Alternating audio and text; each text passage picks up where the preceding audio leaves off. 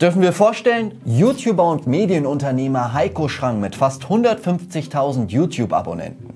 Ich frage mich, wie denkt so jemand eigentlich?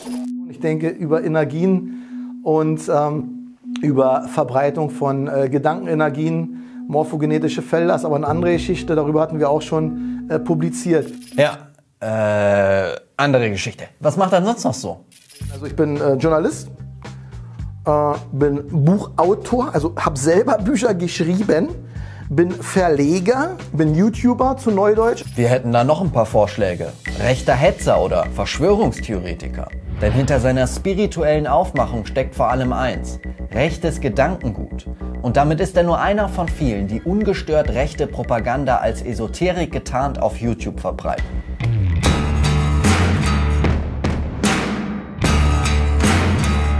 In seinen Videos betont Heiko Schrang immer wieder, wie journalistisch sorgfältig er doch arbeitet. Ihr wisst, ich mache mal eins, ich recherchiere, gehe bis in die Tiefe rein und da habe ich irgendwas anderes festgestellt. Zum Beispiel recherchiert er investigativ, dass Demonstranten gegen rechts in Thüringen von Staatsgeldern bezahlt wurden und bezieht sich dabei auf einen Artikel der Taz. Demogeld für Antifas. Interne Dokumente beweisen, laut Taz, Antifas erhalten Geld für ihre Teilnahme an Demonstrationen. Parteien und Regierungen agieren als Unterstützer im Hintergrund.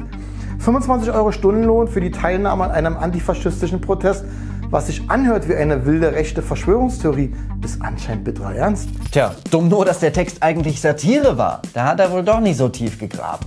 Aber das ist ihm auch gar nicht so wichtig. Für uns ist das eine abstruse Verschwörungstheorie. Doch jemand, der mit rechtem Gedankengut liebäugelt, sagt sich, na gut, habe ich doch schon immer gewusst. Ihm und anderen rechten YouTubern geht es darum, die Vorurteile seiner Fans zu bestätigen. Aber ganz ehrlich, auch wenn das nur einer von vielen offensichtlichen Fehlern war, Fehler passieren. Aber Schrang geht noch weiter. Er setzt sich leidenschaftlich gegen das Impfen ein und spricht dazu sogar auf Demos wie hier am Brandenburger Tor. Die wissenschaftliche Situation dazu ist eindeutig.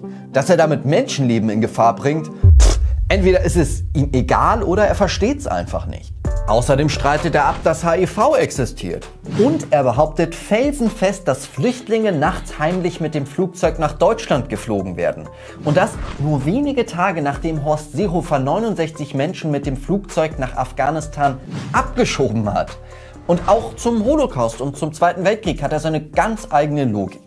Wer sich heute noch schuldig für die Verbrechen an den Juden fühlt, bekommt angeblich durch die Quantenphysik. Ja, ihr habt richtig gehört, durch die Quantenphysik Krebs. Man könnte Schrang jetzt als einen verwirrten alten Mann auf YouTube abtun, der in mal mehr oder mal weniger klaren Momenten vor sich hin blubbert. Aber 150.000 Abonnenten, die ihm die Treue halten, sind schon eine Hausnummer. Und denen propagiert er nicht nur, was er mit seinen investigativen Recherchemethoden herausgefunden haben will. Nein, Schrang wird in einigen Aspekten sehr, sehr deutlich. Wir leben definitiv in einer Diktatur, die reinschlittert sogar, wenn es so weitergeht, in eine äh, Sache. Da geht es nicht nur mal um, um, was jetzt schon der Fall ist, Festnahmen, Hausdurchsuchungen, Leute verlieren den Arbeitsplatz nur wegen ihrer Gesinnung. Irgendwann geht es darüber hinaus, dass wir wahrscheinlich Arbeitslager kriegen oder vielleicht werden die Leute auch eliminiert, wie damals bei Stalin in Russland. Und spätestens jetzt sind wir an einem Punkt, wo man das alles nicht mehr so als halbwitzige Verschwörungstheorien abtun kann. Er behauptet nämlich nicht nur, dass wir in einer Diktatur leben würden, er ruft auch zum Widerstand auf. Fragt euch, wollt ihr weiterhin euer Herz verraten? Gruselig und gleichzeitig wischiwaschi.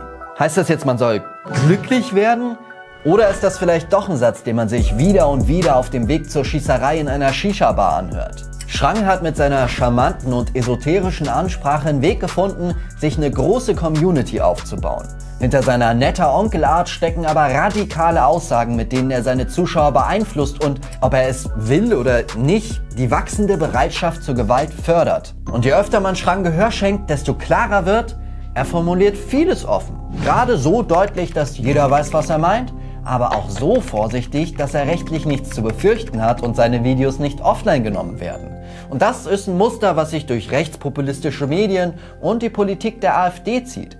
Verfassungsfeindliche Aussagen meinen, ohne sie konkret auszusprechen. Bei Schrang sind nicht die Juden die Bösen, nein, es ist die Hochfinanz. Und die besteht in seinen Augen nun mal aus den Rothschilds und anderen jüdischen Familien. Was für ein Zufall. Oder der Kulturmarxismus, Kulturmarxismus, Dieser Begriff nennt sich Kulturmarxismus. Ein Begriff, der zumindest teilweise antisemitisch besetzt ist. Aber für Heiko Schrang ist das alles total unkompliziert. Es geht aber um Licht und es geht um Schatten. Es geht um Gut, es geht um Böse. Ja, es geht um kalt, es geht um warm. Wir leben nun mal in dieser dualen Welt. Und in dieser dualen Welt gibt es natürlich nur Schwarz und Weiß und kein Grau dazwischen. Wir gegen die, Bio-Deutsche gegen Ausländer, die AfD gegen etablierte Parteien, rechte YouTuber gegen die Mainstream-Medien oder einfach wir gegen die Eliten. So bekommt man alles auf ein Feindbild heruntergebrochen. Schrang weiß, was er sagt und ist in der rechten Medienszene bestens vernetzt. Ein Interview mit dem identitären Martin Sellner, Auftritte auf dem rechtsesoterischen Kanal Nuviso TV, bei Klagemauer TV und der AZK, einer Konferenz für rechte alternative Medien. Und trotzdem inszeniert er sich immer wieder als Opfer von Nazi-Methoden. What? Ja, richtig gehört. Die Klimaaktivisten vergleicht er mit dem Hitler-Regime. Ein Großhändler schickt ihm seine selbstverlegten Bücher zurück. Er sieht sich als den unterdrückten Regimegegner, der auf einer ominösen schwarzen Liste steht, hat er von einem Insider. Und auch im Internet wird er mit allen Mitteln bekämpft. Falls unser Kanal wirklich mal gelöscht wird, weil immer mehr zensiert wird, wenn ihr mein Video heute seht, sofort abspeichern weil die Wahrscheinlichkeit ist mehr als hoch, weil ich greife in dem Fall die YouTube-Chefin an, dass es gelöscht wird.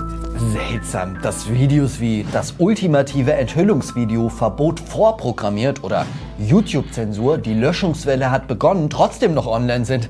Genauso wie die meisten seiner anderen Videos und sein gesamter Kanal. Aber wie finanziert Heiko Schrang das alles? Da sind zum einen seine Zuschauer, die ihn mit Spenden unterstützen. Ein anderes Standbein hat er sich mit seinem eigenen Verlag aufgebaut. Damit verlegt er nicht nur seine eigenen Bücher, sondern bietet Autoren aus der rechten Medienszene eine Bühne. Zum Beispiel Niklas Lotz, alias Never Forget Nicky, einem jungen Mann, der als Newcomer in der Szene gefeiert wird. Und das Erschreckende daran, das läuft alles ziemlich gut. Für kurze Zeit konnte sein Buch sich sogar auf Platz 1 der Amazon Bestseller im Bereich Politikwissenschaften halten. Hinter all den gefährlichen Verschwörungstheorien, der verkehrten Opferlogik und dem versteckten Rassismus und Antisemitismus steckt nicht nur irgendein verwirrter Mann, es ist ein System, mit dem Heiko Schrang Menschen im Internet mit ihrer Angst abholt und radikalisiert. Das unter dem Deckmantel vermeintlich friedlicher Esoterik zu verstecken, nimmt einen auch nicht aus der Verantwortung. Im besten Fall verlieren seine Zuschauer nur das Vertrauen in die Demokratie. Im schlimmsten Fall ist er Mitschuld an rechtem Terror wie in Hanau oder Halle.